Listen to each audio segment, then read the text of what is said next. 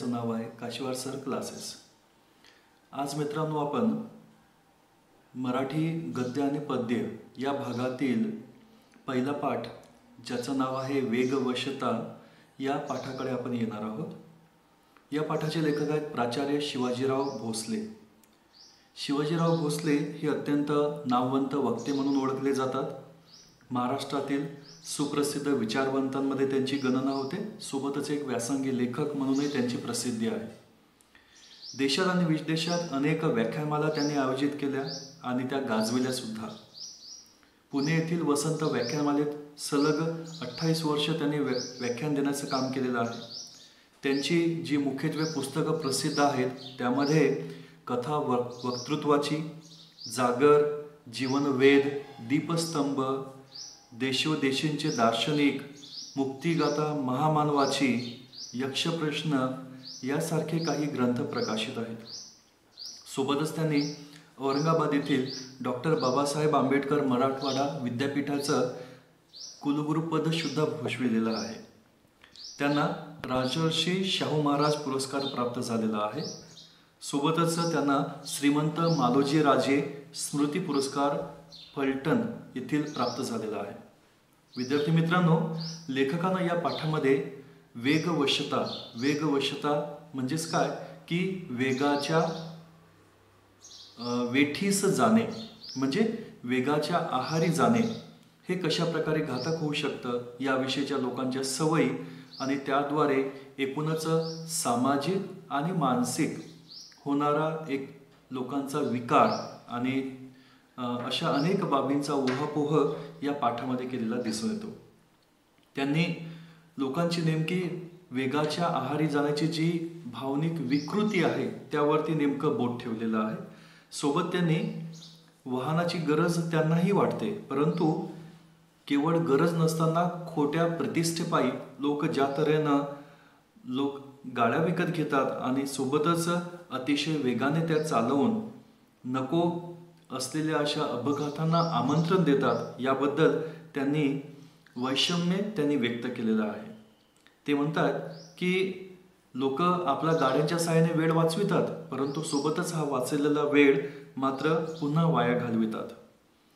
या अति वेगाच्या प्रकृतीमुळे मानवी मनावर होणारे शरीरावर होणारे अनावश्यक ताण आणि यातून हरविणारे आपलं स्वत्व आणि स्वास्थ्य याकडे त्यांनी बोट एक बोट दाखवलेला आहे इशारा दिलेला आहे.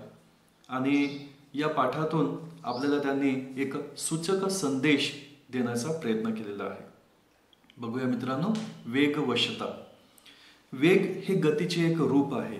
आपले जीवनही स्थिती आणि गती यात विभागलेले आहे.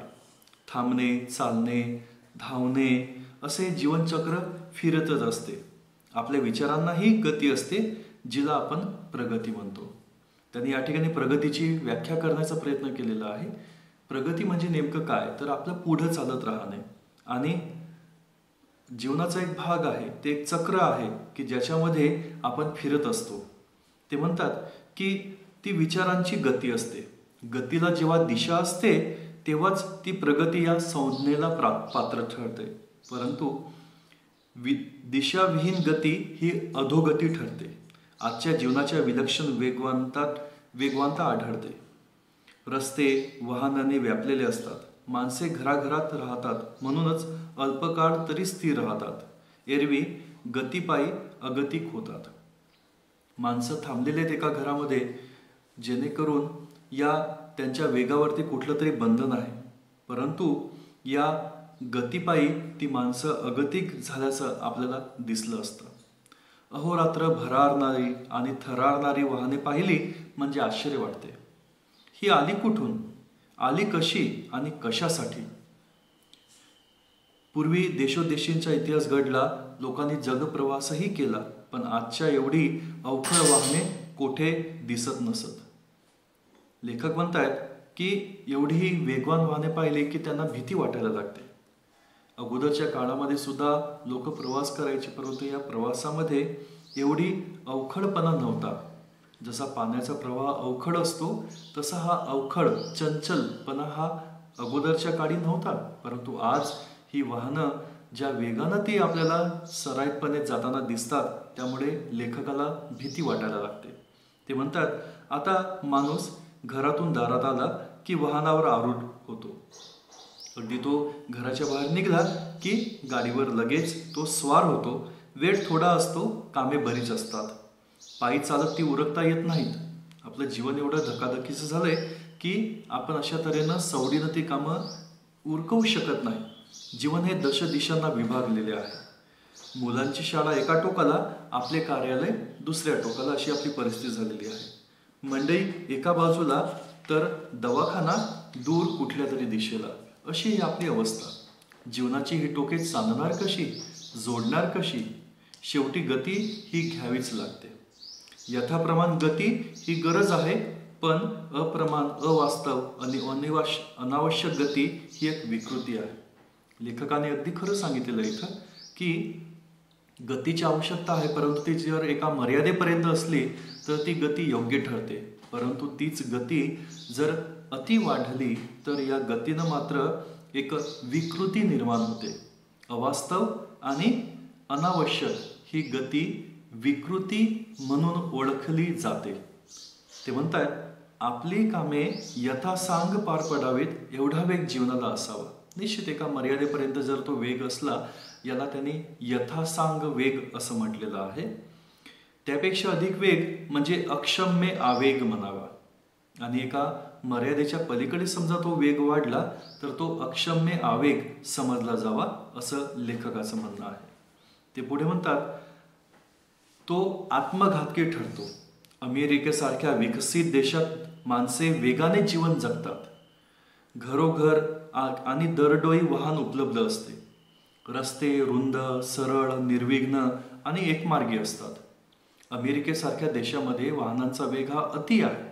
त्यामागची कारणं देताना लेखकानं म्हटलेलं आहे की अमेर अमेरिकेसारख्या देशामध्ये लोकसंख्येची घनता ही विरळ आहे आणि त्यामुळे इच्छित स्थळं जी असतात ज्या ठिकाणी जायचं असते आपल्याला ती स्थळं अतिशय दूर दूर आहेत. आणि अशा दूर ठिकाणी जायचं म्हटलं तर निश्चितच एक वेगाचा आहार घ्यावा लागतो म्हणजे वेगाच्या आहारी जावं लागतं.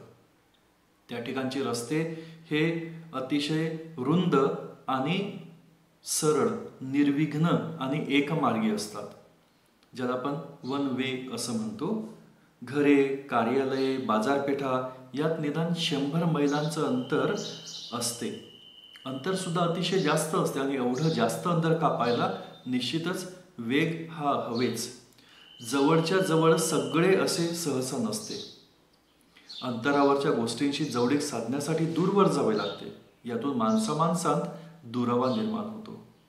तो जाचदायक आणि असह्य होऊ नये म्हणून वेगाचा आश्रय घेतला जातो. या ठिकाणी त्या लोकांच्या अमेरिकन लोकांच्या मनस्थितीवरती या ठिकाणी लेखकानं बोट ठेवलेलं आहे की त्यांची एक वागण्याची एक तर्रा आहे. त्या ठिकाणी अतिशय जास्त अंतर आहे आणि हा वेग त्यांना म्हणजे इच्छा नसताना सुद्धा अनिच्छेने त्या वेगाच्या मुळं त्यांना हे अंतर लवकर कापता यावं म्हणून ती अतिवेगानं वाहनं चालवताना दिसून येतात. ते म्हणतात पुढं वेगामुळे माणसे बेभान होतात. भान हरपले म्हणजे अस्वस्थता विरून जाते. वेगात एक बेहोशी असते. लेखकानं म्हटलेलं इथं की वेगामध्ये जणू एक बेहोशी असते. त्या ठिकाणी स्वतःवरती एक जे नियंत्रण असतं ते नियंत्रण आपण गमावून बसतो. आणि म्हणून या भान हरपल्यासारखी एक अस्वस्थता जशी आपली विरूनच जाते आणि एका वेगळ्याच्या आवेशामध्ये जातो आणि तो आवेश नसून तो बेहोशपणा असतो. भारतीय आणि अमेरिकन जीवनशैली पत्करण्याचे कारण नाही. त्या ठिकाणी लेखक पुढे म्हणतात की भारतीयाने मात्र या इंग्रजी लोकांचं अमेरिकन लोकांचं अनुकरण करण्याची गरजच नाही. त्याची कारणंही तशीच आहेत. ती कोणती? आपल्याकडे अंतरे कमी आहेत. आता अमेरिकन जीवनमान आणि अमेरिकन लोकांचं वेगाच्या आहारी जाण्याची कारणे आणि भारतीय लोकांनी अशा तऱ्हेच्या वेगाच्या आहारी न जाण्याची एक त्यांनी इथे भेद त्यांनी सांगण्याचा प्रयत्न केलेला आहे. ते म्हणतात इथं की भारतीय आणि अमेरिकन जीवनशैली पत्करण्याचं कारण नाही. आपल्याकडे अंतरे कमी आहेत. माणसे खूप आहेत. कामे फारसे नाहीत. आपल्याकडे माणसांची म्हणजे लोकसंख्या ही अतिशय घनदाट आहे. सोबतच कामे फारशी नाहीत. आणखी इतर कारणे म्हणजे जीवनाची टोके सहज सांधता येतात. थोडी त्वरा करावी लागते पण भरघाव वेगाने अंतर काटावे अशी स्थिती नसते. मुंबईसारखे विस्तीर्ण नगर गाड्यांनी सांधलेले आहे. मुंबईचं एक जर उदाहरण घ्यायचं झालं तर त्या ठिकाणी लोकल ट्रेन्स चालतात आणि त्यामुळं शहराच्या एका टोकापासून दुसऱ्या टोकापर्यंत सुद्धा आपण सहजतेने या दळणवळणाच्या साधनाच्या सहाय्याने जाऊ शकतो. गाड्या उडावडून चालतात. त्यात भरकटणे फारसे नसते. गाडीत चढले म्हणजे माणसाचे धावणे थांबते. खरी अडचण असते ती रस्त्यावरून येणाऱ्या जाणाऱ्या दोन आणि चार चाकी वाहनांची. मुळामध्ये या ज्या रेल्वे ज्या गाड्या असतात त्यांच्यासाठी त्यांचं एक स्वतःचं एक रूट ठरलेलं आहे त्यांचं रूढ आहे. परंतु जी खरी अडचण लेखकाला भासते ती म्हणजे या दोन चाकी आणि चार चाकी वाहनांची. त्यांचा एक मर्यादित ठेवला तर ती साधने म्हणून उपयोगी पडतात. ती उपयोगी साधने म्हणून आपण त्यांना ओळखू शकतो. वेळ आणि श्रम वाचवण्यासाठी त्यांचा उपयोग होतो. पण अनेकदा असे घडते की वाचलेला वेळ घालवावा कसा हे कळेल असे होते आणि मग तो घालवण्यासाठी पुन्हा माणसे वाहनांच्या आहारी जातात. प्रारंभी माणसे वाहनांवर स्वार होतात मग वाहने माणसांवर स्वार होतात. लेखक म्हणताय तिथं की अशा तऱ्हेने माणूस जो असतो तो वेळ वाचविण्यासाठी म्हणून वेगाचा आधार घेतो. अतिशय वेगानं तो आपली वाहनं चालवतो.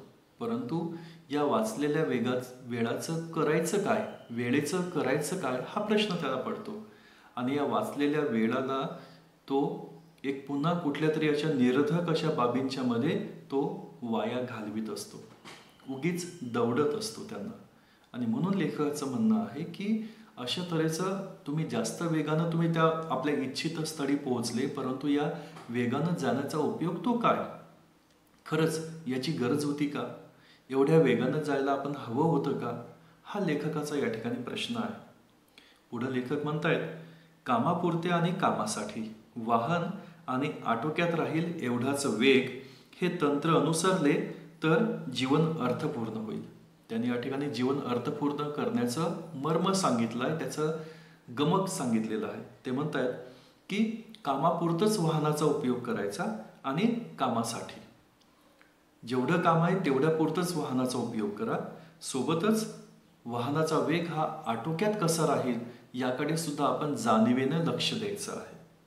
आपले जीवन अधिक प्रमाणात आपल्या वाट्याला यावे. ते कृतार्थतेने जगता अनुभवता यावे. त्यासाठी उसंत लाभावी म्हणून वाहनांचा वापर करायला हवा. आपलं जीवन हे धकाधकीचं आहे. कामं भरपूर करायची आहेत म्हणून कदाचित वेळ आपला वाचावा म्हणून अनेक लोक या ठिकाणी अशा वाहनांच्या सहाय्यानं जाताना एका ठिकाणी दुसऱ्या ठिकाणी जाताना आपल्याला दिसून येतात. परंतु पुन्हा एक दुसरा एक त्याने उपयोग सांगितला लेखकानं की अशा या आपल्या वेळेचा एक सदुपयोग हा सुद्धा आहे की आपण यथार्थतेने आपलं जीवन जे आहे ते एक चांगल्या तऱ्हेने आपण जगू शकतो. कृतार्थतेने जगता यावं अनुभवता यावं. यासाठी आपल्याला थोडी उसंत थोडी सवड मिळावी म्हणून कदाचित आपण वाहनांचा वापर करू सुद्धा परंतु प्रत्यक्षात घडते ते वेगळे. इतरांशी मानसिक स्पर्धा करण्यासाठी आपल्या ऐश्वर्याचे प्रदर्शन घडवण्यासाठी गरज नसताना कर्ज काढून वाहने खरेदी करणारी माणसे समाजात आढळतात. ते म्हणताय तिथं की लोकांचा केवढा एवढाच उद्देश राहत नाही. लोकांचा एवढा उद्देश म्हणजे कसा की लोकांना फक्त स्वतःची कामं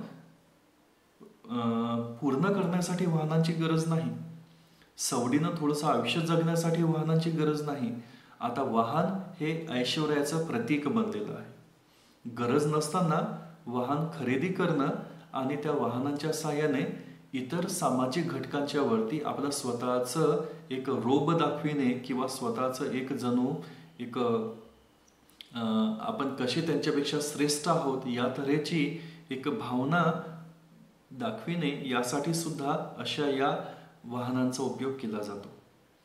कर्ज काढून सुद्धा वाहनं खरेदी केली जातात आणि त्या कर्जामध्ये ती अख्खी डुबून जातात. कोणतेही महत्त्वाचे काम नसताना पत्नीला मागच्या बाजूला बसवून आधुनिक जु दुचाकीने सहज फेरफटका मारून आले म्हणजे अनेकांना बरे वाटते. नवीन दुचाकी घेतलेली असते आणि ती दुचाकी इतरांना दाखविणे हे सुद्धा त्यांना आवश्यक वाटतं. अशी एक लोकांची मनस्थिती असते आणि अशा या मनस्थितीमुळं ती लोक केवळ सहज म्हणून अशा या वाहनांच्या साहाय्याने फेरफाटका मारताना आपल्याला दिसून येतात. पण आहेच वाहन तर चार सहा मैलांवरचे एखादे निसर्गरम्य स्थान किंवा मंदिर पाहण्यासाठी ही माणसे का जात नाहीत? त्यांचं म्हणणं आहे की जर तुमच्यापाशी वाहनच आहे गावामध्ये एवढा फेरफटका किंवा शहरामध्ये फेरफटका मारण्याऐवजी काय करा तुम्ही? चांगल्या स्थळी जा ना की ज्याचा एक कुठेतरी उपयोग होऊ शकेल. मंदिरामध्ये जा. त्या मंदिराला तुम्ही भेट द्या किंवा तुमच्या जवळचं पाच सहा मैलांच्या अंतरावरती एखादं निसर्गरम्य ठिकाण असेल त्या ठिकाणी जा. निसर्गाचा आस्वाद घ्या. आणि अशा तऱ्हेनं सुद्धा तुम्ही आपल्या जीवनाचा एक उपयोग जो आहे किंवा आपल्या वेळेचा एक सार्थकी उपयोग तुम्ही करू शकता. ते पुढं म्हणतात की एखादा एखादा लक्ष्मी रोड महात्मा गांधी मार्ग किंवा जंगली महाराज रस्ताच का पसंत केला जातो?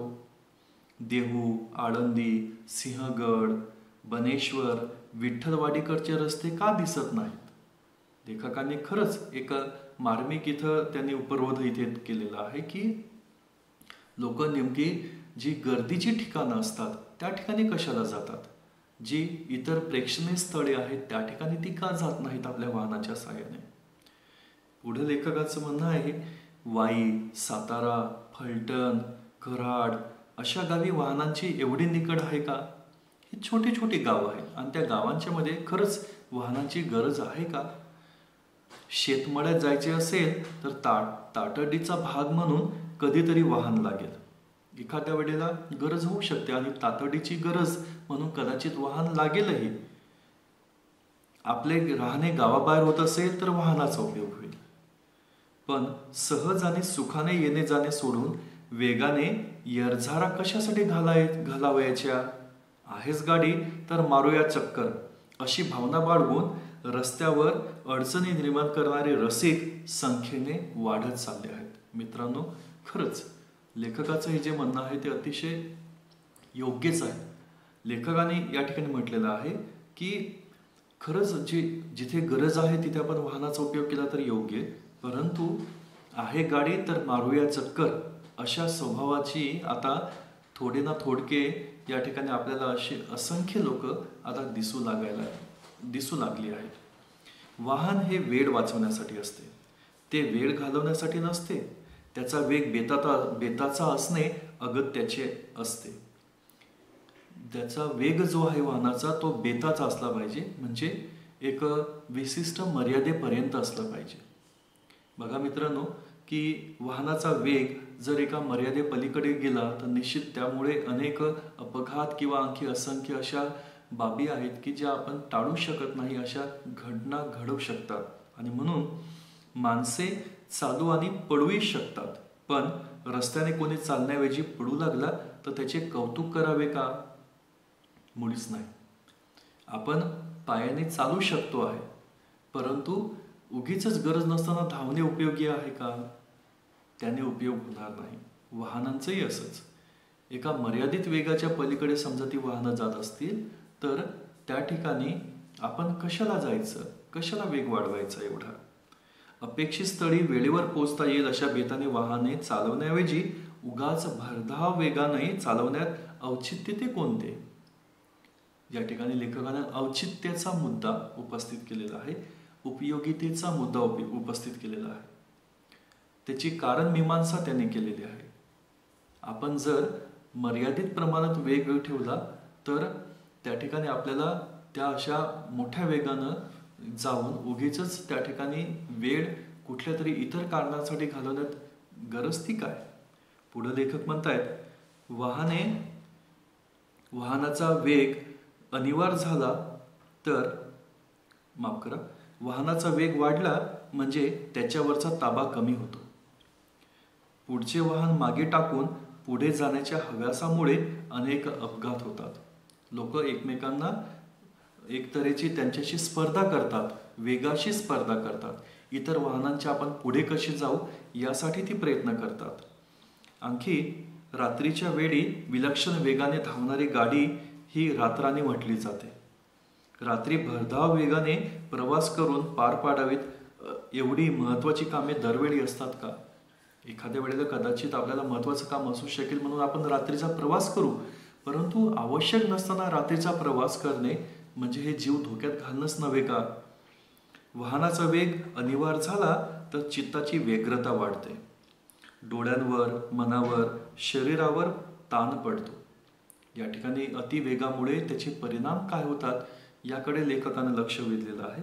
लेखक म्हणतात की वाहनाचा वेग अनिवार्य झाला तर चित्ताची व्यग्रता वाढते. म्हणजे त्यामुळे मन जे असतं ते आपलं व्यस्त होतं.